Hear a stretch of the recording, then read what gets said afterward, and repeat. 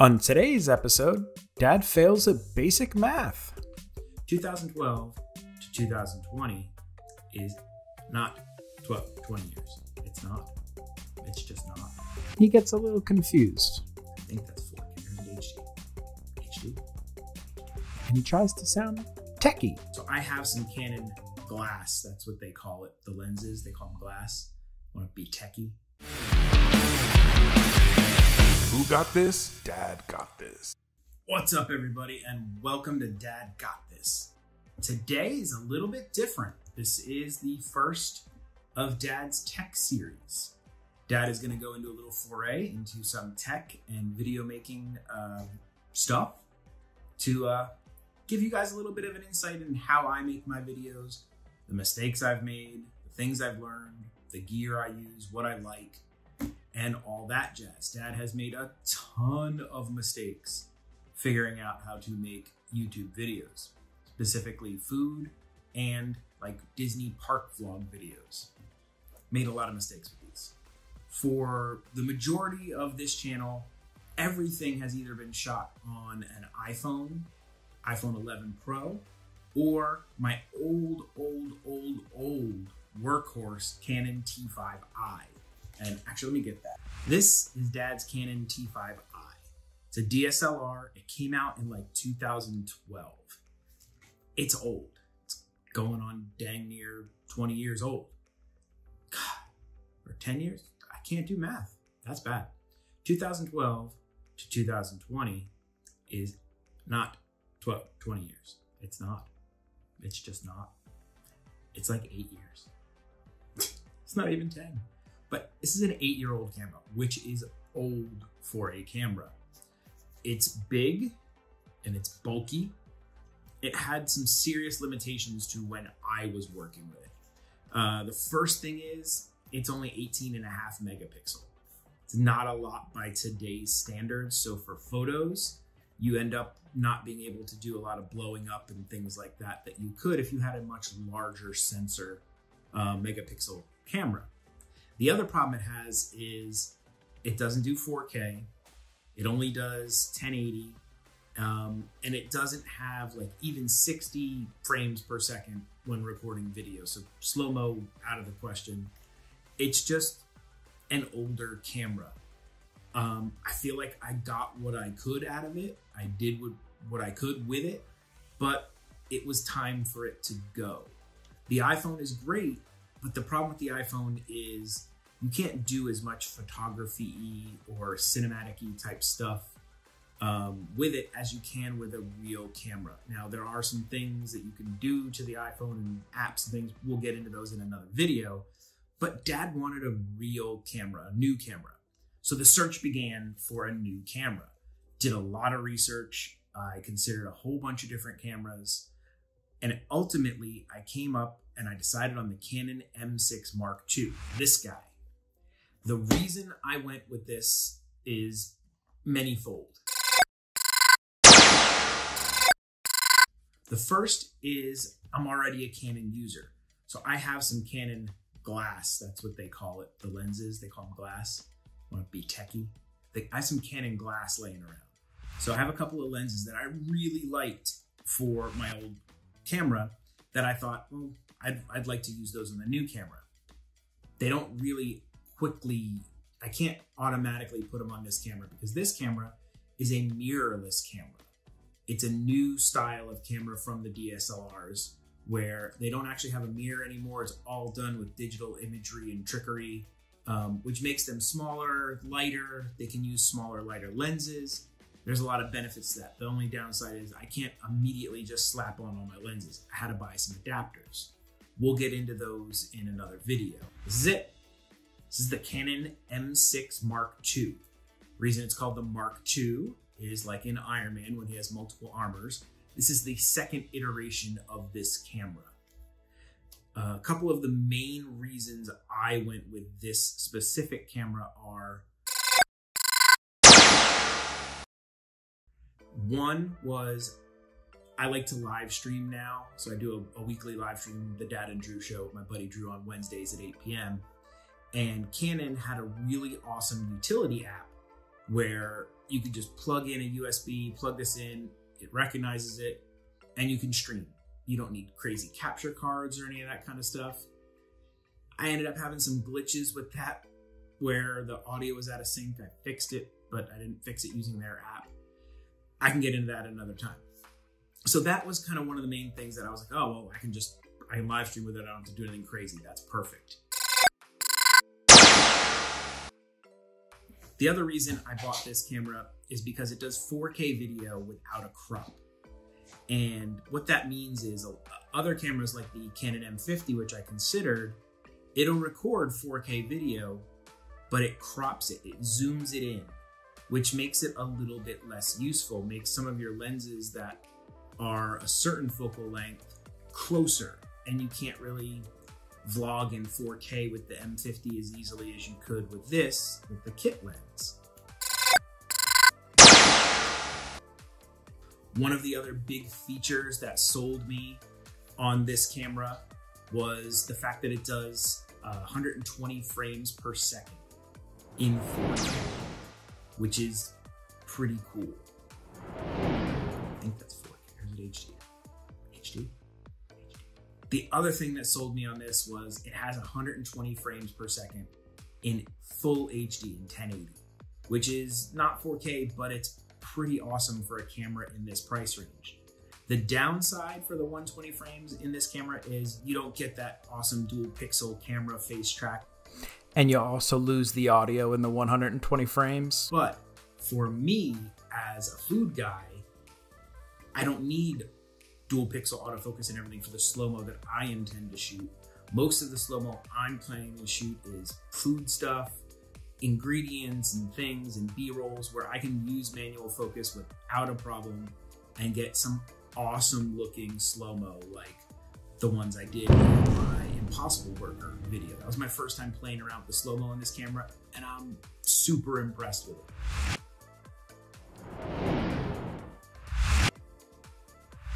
Are some downsides to this camera, upsides, downsides. Um, this camera does not have a full flip screen like my old T5i. So my old T5i had a screen that you could flip out, spin, and pretty much achieve almost any kind of crazy angle you wanted. The M6 Mark II has a flip up screen. It articulates out so you could do flat like that, like that, like that, like that. So you get a couple of different kind of angles, but you can't flip it to the side. That causes a few problems because when you flip it up and you want to attach a microphone, which you have to have a external microphone on most of these cameras, the in-camera audio is just not good enough to be good. Now I put that on there and I can't see nothing. I can't see myself when I'm vlogging. Not good. There's easy fixes and cheap fixes for that. I bought this little SmallRig slider thing. And what this does is it attaches to the bottom where the camera mount is and you screw it on.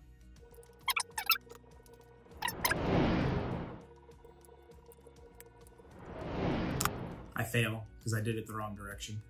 Take two. You screw it in and it's got to go to the mic side, unfortunately, which isn't too bad. So you screw it in, take your mic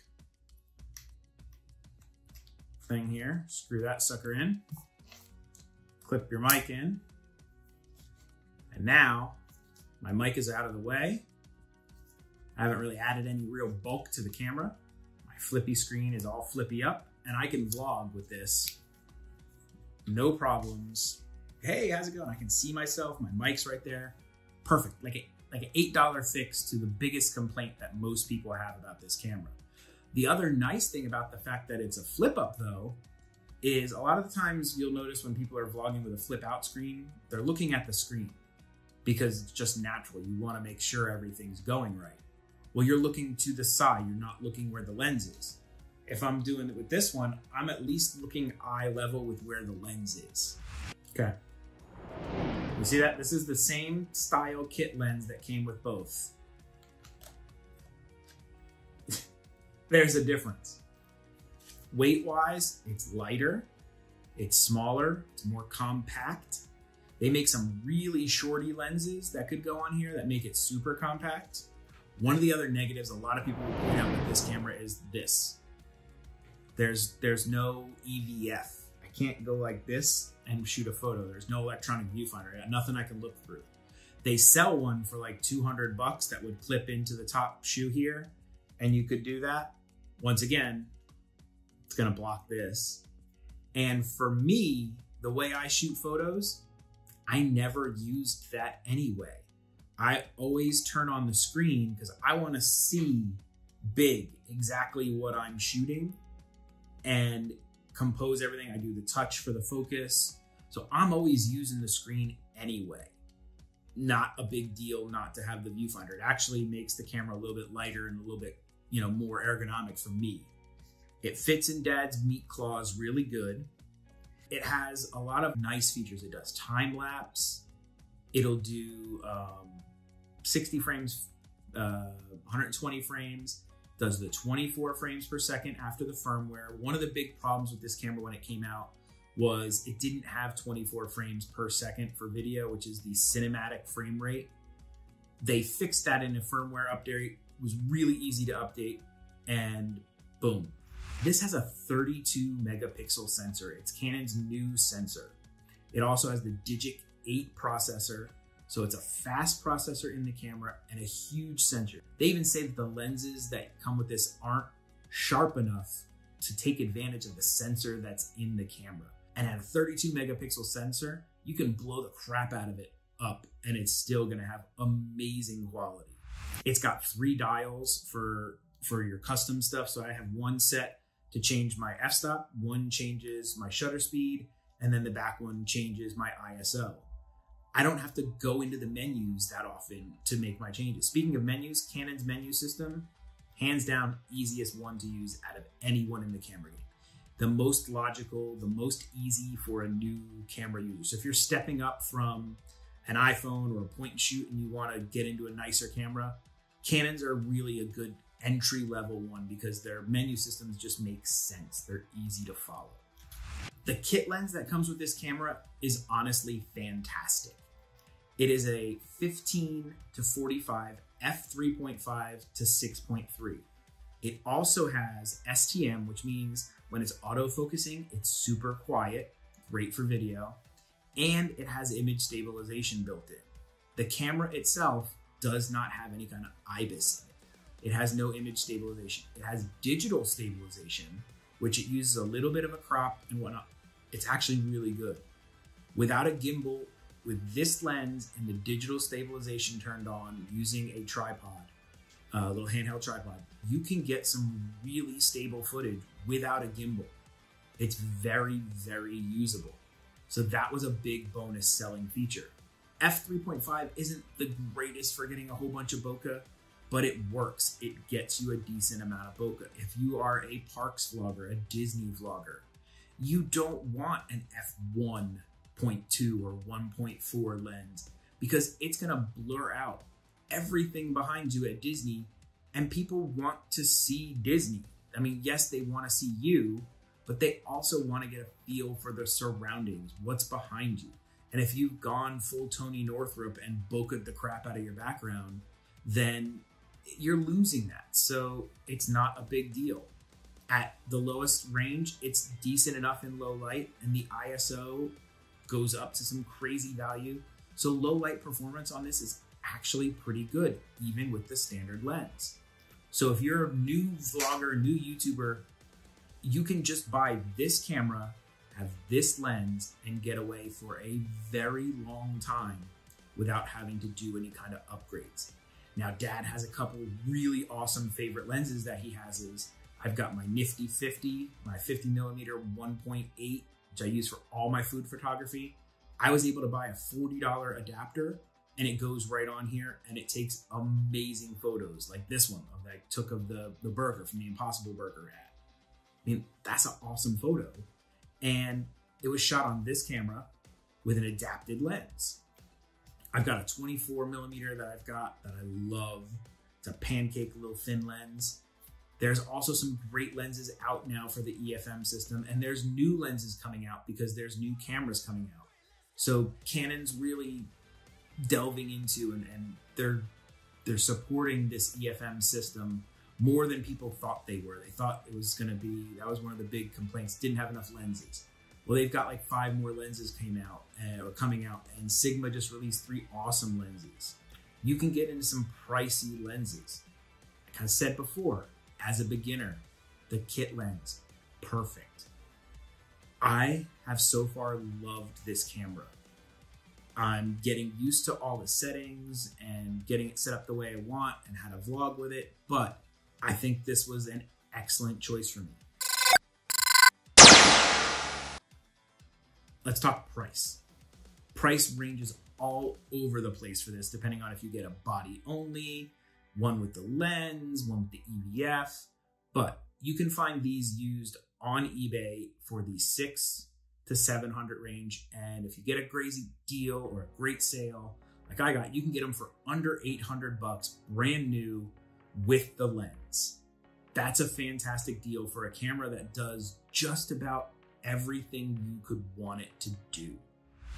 I think I've rambled on long enough about this camera. I've looked into all the cameras. I looked into Fuji, Olympus, the Sony system. Now I looked at the cheaper cameras. I can't afford the R5s and the R6s and the A7S3s. I would love a Sony A7S3. But in this price range, in this style camera, for me, this was the best camera available to me. The other one I, I closely considered was the Sony A6400. Um, Sony glass is really expensive. I didn't have any Sony glass, and that's why I ended up leaning towards Canon. That's why dad made his choice. What camera do you use? What do you shoot your videos on? Let me know in the comments. Do you have questions about cameras? Do you have something that you think I might want to you might want me to answer for you? Also, let me know in the comments.